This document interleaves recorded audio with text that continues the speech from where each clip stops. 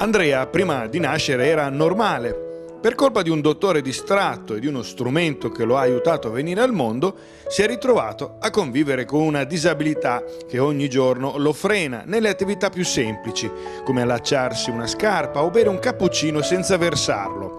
Si legge questo nella copertina del libro scritto da Laura Corsini. Andrea è il personaggio di Non ho imparato a nuotare, nato dal racconto vero di Giuseppe Frassinelli, che ogni giorno lotta con le difficoltà del suo handicap.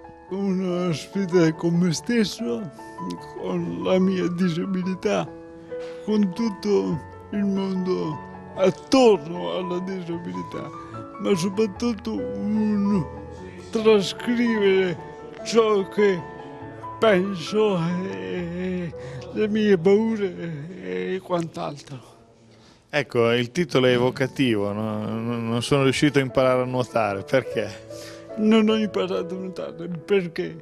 Perché comunque, a parte l'atto pratico che non so nuotare, nella vita è importante imparare tutti i giorni qualcosa di nuovo per poter vincere determinate sfide particolarmente legate alla disabilità.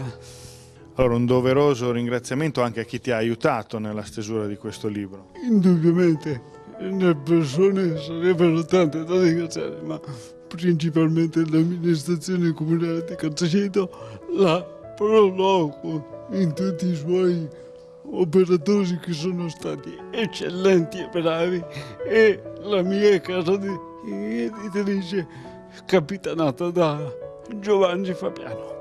Che cosa ti ha dato quel, questo libro? Che, che, che, cosa ti porti dentro di, dopo questa esperienza?